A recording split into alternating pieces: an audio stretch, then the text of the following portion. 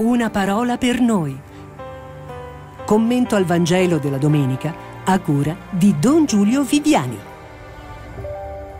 Cari amici, in questa domenica, tredicesima del tempo ordinario, si celebra anche la giornata per la carità del Papa. Si tratta anzitutto di una giornata in cui sentirci in comunione con il Papa, con il suo ministero, che è sempre a beneficio di tutta la Chiesa sparsa nel mondo, soprattutto là dove c'è la povertà. E in questo Papa Francesco ha ribadito fin dai primi giorni la sua volontà di una Chiesa povera e con i poveri, eh, impegnata quindi a usare anche dei mezzi che essa ha e alla quali tutti noi dobbiamo contribuire per fare del bene.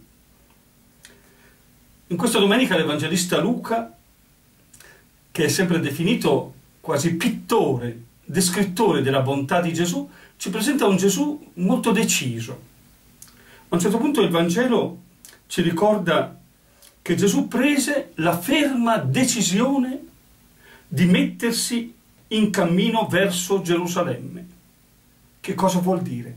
Vuol dire ormai per Gesù chiaramente l'impegno a donare la sua vita per noi. Gerusalemme significa per Gesù la Pasqua, la scelta decisiva. Aveva fatto tanti miracoli belli, buoni soprattutto, verso gli ammalati, verso i poveri, ed ora vuol dare tutto. Prende, dice San Luca, con una certa serietà, la ferma decisione.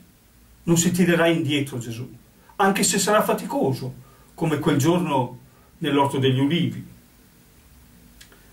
commenta l'Evangelista, infatti stavano compiendosi i giorni in cui Gesù sarebbe stato elevato in alto, cioè sulla croce, nel dono supremo di sé, nel suo amore.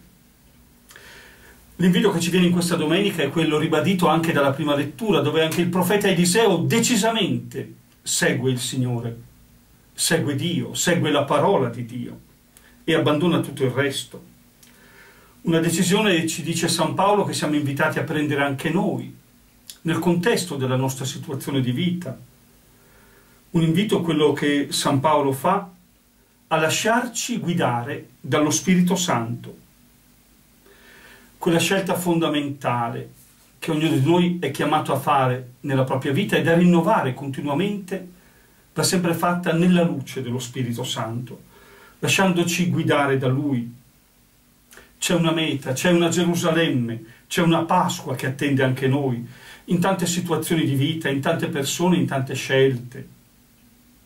Ma anche noi siamo chiamati a farla decisamente, perché il Signore, come ripetiamo in questa domenica nel Salmo responsoriale, è il nostro unico bene.